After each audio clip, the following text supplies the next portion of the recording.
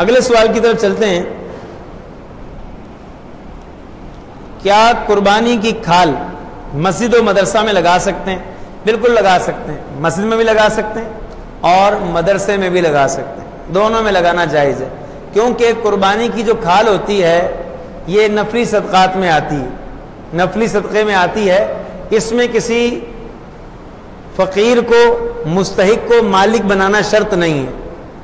तो इसलिए मस्जिद में भी डायरेक्ट लगा सकते हैं, मदरसे में भी डायरेक्ट लगा सकते हैं।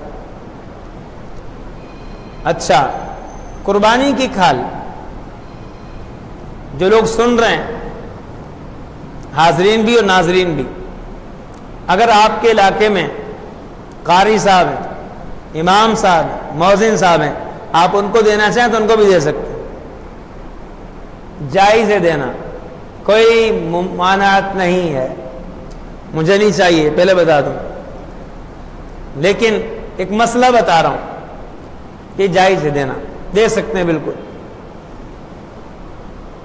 इसके अलावा, अगर कोई शख्स कुर्बानी की खाल बेच देता है, इसका हुक्म अलग है।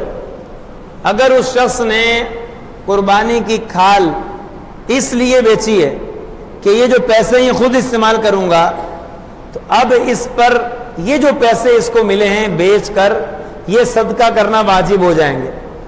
पहले खाल देना वाजिब नहीं था इसको।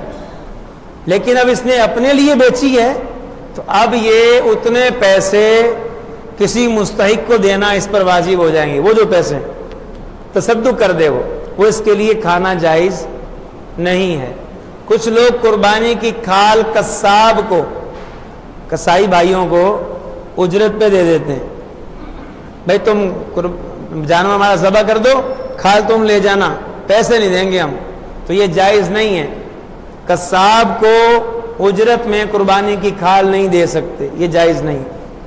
अच्छा किसी ने इस नीयत से खाल बेची कि पैसे मदरसे में या मस्जिद में दूँगा तो ये जायज़ है। ठीक है? किसी गरीब को दे दूँगा पैसे, वो गरीब आया नहीं, ये खाल ख़राब हो जाएगी तो मैं उसको बेच देता हूँ। और पैसे महफूज कर लेता हूँ। जब वो गरीब आएगा, मैं उसको दे दूँगा।